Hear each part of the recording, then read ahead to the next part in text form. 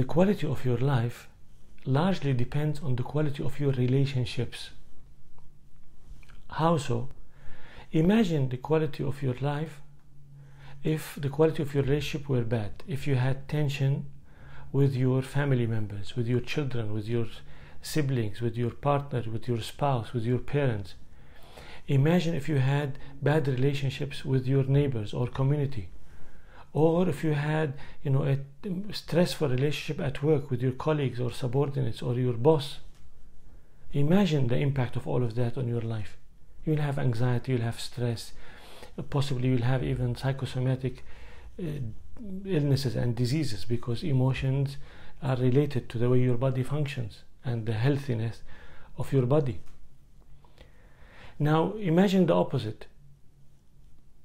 Try to visualize the quality of your life if your relationships were great within your family, within your organization, within your you know area of work, within your community or your neighborhood, how that will translate into happiness. So quality of life is largely dependent on the quality of your relationships. Now, how do you make your relationships stronger? How do you build deeper and healthier relationships? Of course, this is a complicated subject and it's a long one, but it's very exciting. I'm going to talk about just one element, and that's the element of trust. One of the best ways to develop deep and healthy relationships relationships that are truly fruitful is to build a higher level of trust.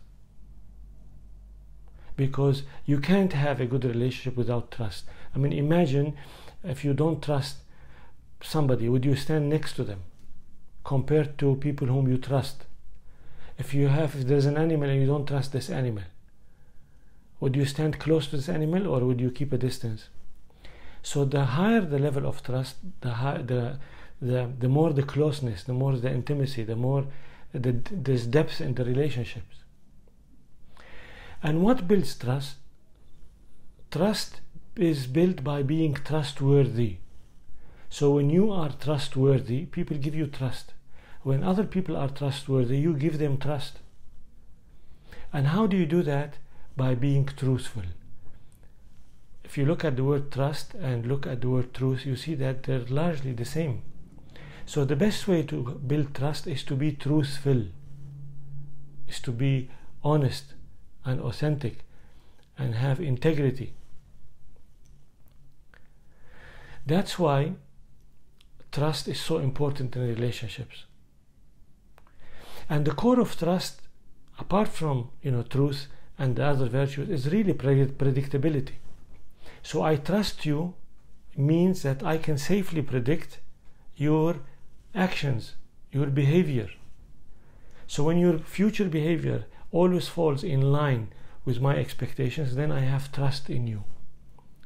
And the same goes the other way around. When you can safely predict the nature of my behavior, my words, my actions, and you can safely predict that as per your expectations, then you will have higher trust in me.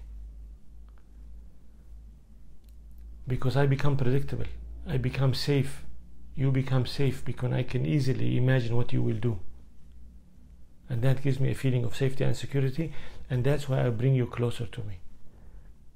So if you want good relationships, deep relationships, invest in building trust and to build trust, you have to be trustworthy. And to be trustworthy, you have to build your life and the entire dynamics of the relationship on truth.